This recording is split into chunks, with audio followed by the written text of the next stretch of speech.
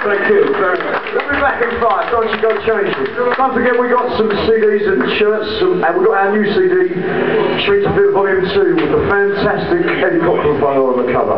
Thank you.